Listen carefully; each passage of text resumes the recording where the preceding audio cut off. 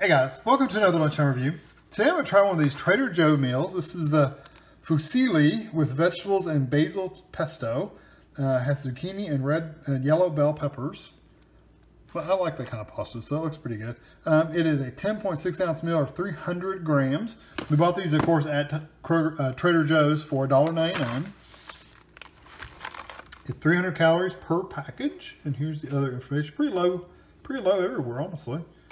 So you can do this in a stove top if you want to, just pour it in a pan and heat it up. Of course, we don't do that. We do microwave. So we're gonna um, lift one corner to the tray to vent, cook on high for four to five minutes. I'll probably just split it in the middle and go four and a half.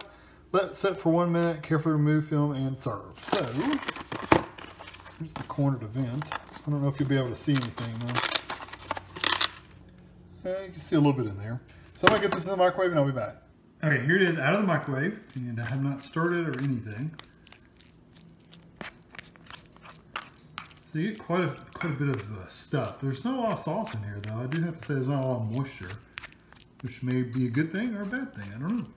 So I'm gonna let this cool off for a minute, and uh, I'll be back. All right, it's that time to cool off. So here's the bite I'm gonna take. I think I got pretty much everything in there. So here we go.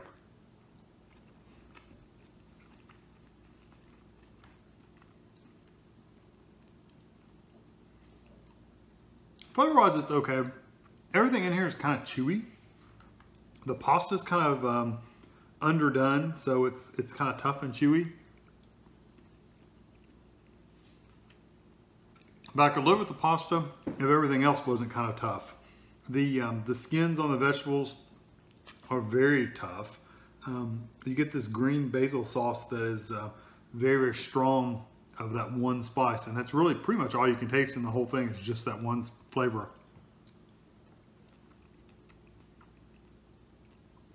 Yeah, and then the, um, if I get zucchini or something like that, you can taste that. It just tastes vegetably.